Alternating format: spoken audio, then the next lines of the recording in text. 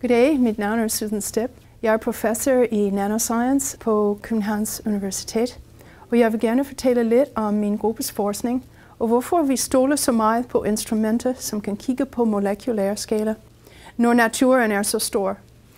Uh, processer, som sker i naturen, er alt sammen kontrolleret af de fysiske og kemiske egenskaber på molekylære niveau. De her er atomer på en overflade på en lille bitte stykke af kalk. Og de er ilt fra vandmolekyler. Og de påvirker overfladen og bestemmer dens egenskaber. Så mønsklint falder ned og bliver stabil uh, i forhold til vandets vekselvirkning med kalk. Så vi, vi bruger de nanoteknikker, som kigger på uh, meget, de har meget høj opløselighed. De kigger på uh, øh, molekylers niveau. Og med dem vi kan opdage naturens hemmeligheder. Og bruge den nye viden, vi får, til at løse nogle af samfundets udfordringer.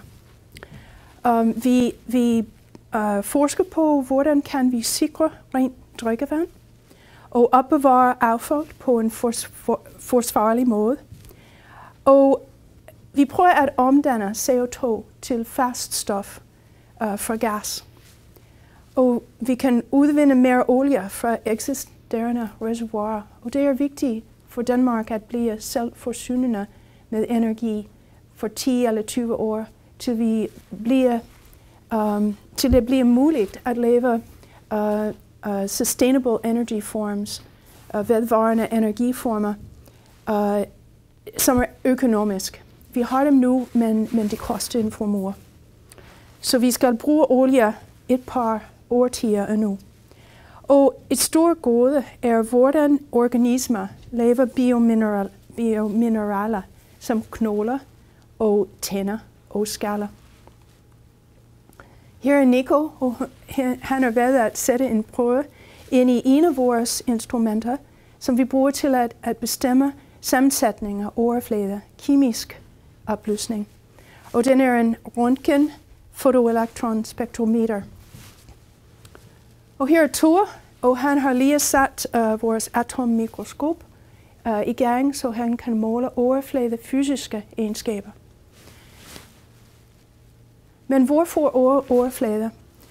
Det er fordi, det er hvor all the action is på overfladen mellem fast stof og væske.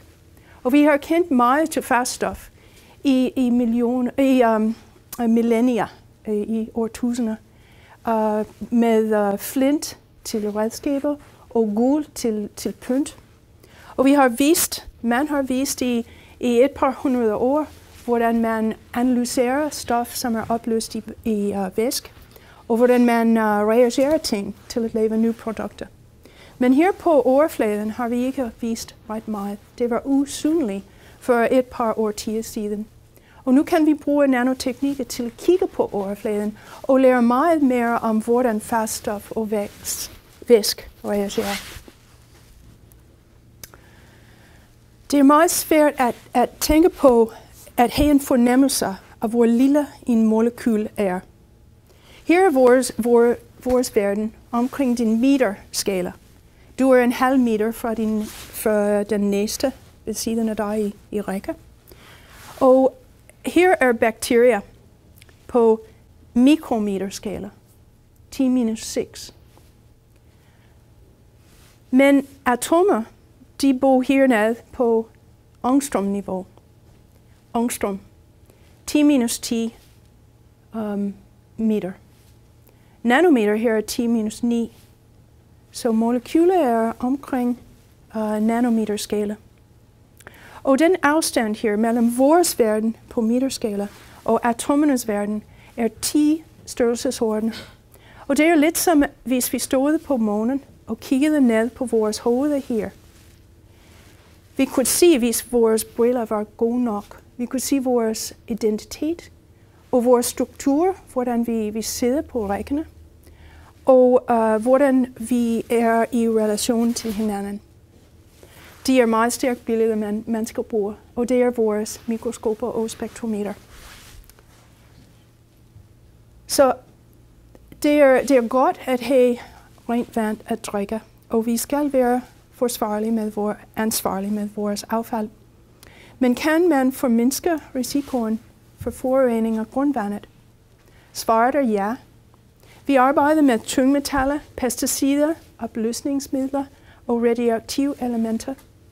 Og med vores øh, nanoteknikker, vi kan kigge på, hvordan molekylerne reagerer med, øh, med overfladen.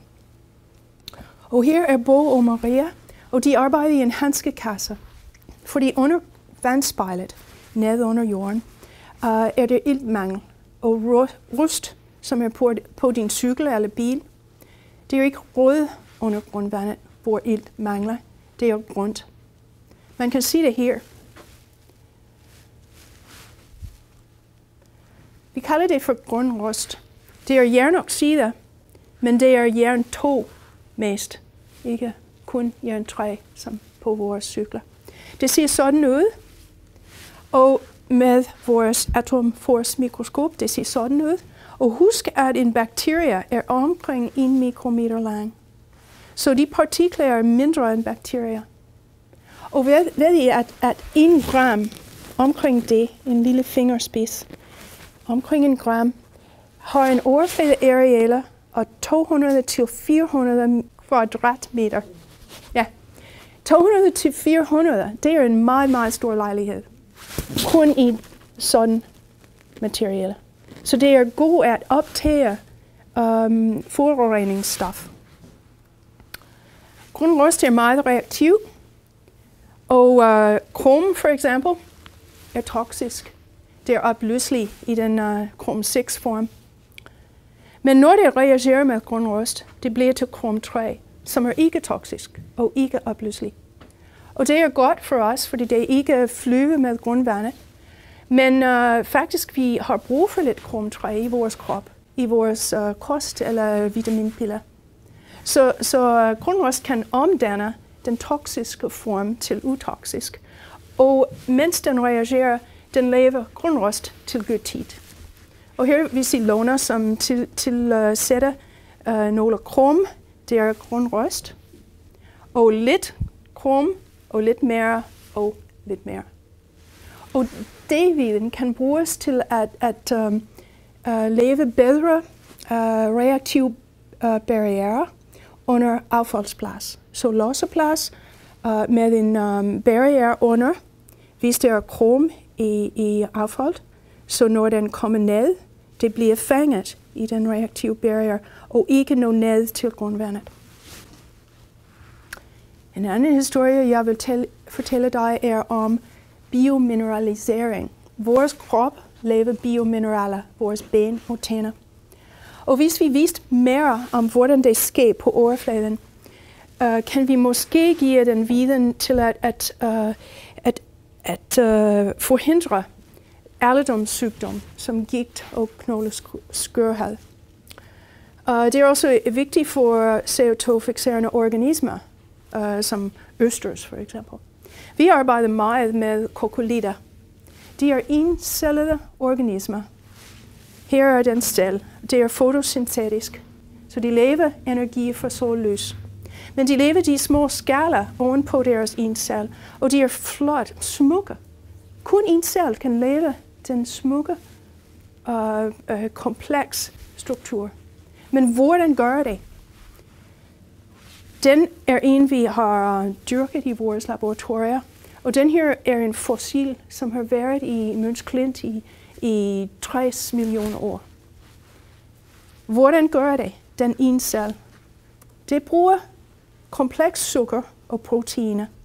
De sætter den på overfladen, og den påvirker, hvordan overfladen reagerer med væsk i kontakt.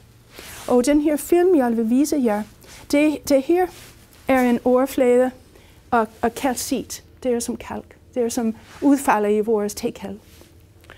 Og det er vand her, men vi har lavet den usynlig, så, så du kan se bevægelse her bedre. Og den her er tre saccharide. Det er tre sukkerringer uh, uh, forbindet sammen. Og det her er en model. Og vi bruger modeller som den her. Det er jo en vigtig redskab for os, så vi kan um, vi kan uh, teste vores hypotese om, hvordan verden virker. Vi bruger de atom, uh, elektron, uh, bevægelser rundt om, om atomer, og vi klistrer atomerne sammen i, i en computer, og vi giver dem de egenskaber, de rigtig har, og vi ser, hvordan de reagerer. Og så her, vi, uh, mens, mens vi kigger, se hvordan de OH-grupper her sidder nede på kalcit, og indgang de får deres fødder ned på kalcitoverfladen, de danser, men de ikke kommer væk igen.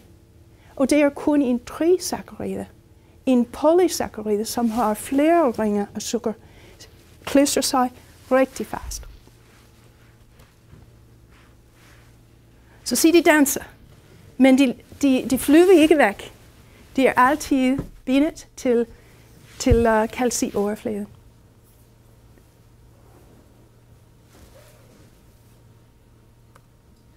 Den sidste historie, jeg vil fortælle jer, er om vulkansk aske. Uh, kan vores nanoteknikker hjælpe flysikkerhedsmyndighed, når en vulkan eksploderer? Og svaret er igen ja. Her er Sigge Gislason, som samler frisk ask uh, klokken 12 en solrig dag i Island, efter Eyjafjallajökull uh, eksploderede i, i 2010. Og måske I husker, at en stor del af Europas luftplads var, var lukket. Men myndighederne viste ikke rigtig meget om den ask. De bare, de bare lukkede uh, luftplads, uh, fordi de var bange for, at der ville være noget sket. Så vi undersøgte den ask, Sigi samlede op. Her er et typisk ask for en normal vulkan. Og man siger, at partiklerne er rundt, og de er, de er lille. Her er skalen. Men de har gasboble indenfor. Og her er den eksplosive ask, Eyjafjallajökull sendt til os i Europa. Man kan se, at partiklerne er meget mindre. De er meget skarpe. Og eksplosiv ask, som er lavet, når en vulkan smelter en gletsjer ovenpå. Og kulvand løber ned i magma, og den hurtige køling laver gasboblerne til at eksplodere og laver små partikler. Og de meget fine partikler rejser langt, meget længere end, end store partikler. Og de smelter let i uh, jetmotor. De er meget skarpe, så de riser flyets overflade, vinduerne og vinger. Men den gode er, den vand har renset de toksiske salt, som er typisk for, for øh, uh, vulkansk ask. De er renset væk. Så de få i Island fik ikke forgiftning øh, uh, af den, um, den, den ask. Så det man lærte fra Eyjafjallajökull, størrelser, hvor, hvor skarpt de er, man brugte senere, uh, et år senere, når Grimsvøden eksploderede. Og det, betyder, uh, øh, det, det havde betydning for, for lukning af, af, af air og plads. Uh, det var meget mindre med Grim, Grimsvøden, end det var med øh, Eyjafjallajökull. Så jeg slutter her med um, at komme tilbage til begyndelser. Hvad sker på meter og kilometer og gigameter skala i naturen? Ja, I ved, hvad gigameter er, ikke? Kontrolleres af fysiske og kemiske processer på nanometerskala. På molekul molekylær skala. Og hvis vi forstår, hvordan naturen virker, kan vi anvende den nye viden og løse nogle af samfundets udfordringer.